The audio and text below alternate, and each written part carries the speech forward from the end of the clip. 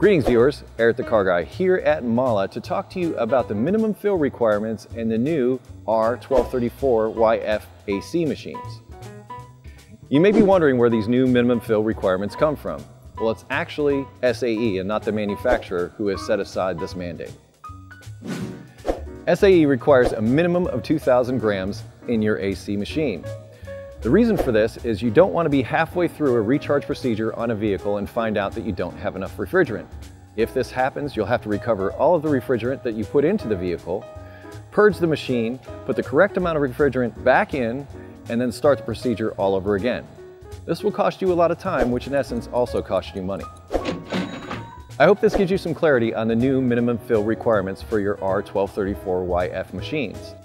If you have additional questions, you can leave those down in the comments. I'm Eric the Car Guy. Thank you so much for watching.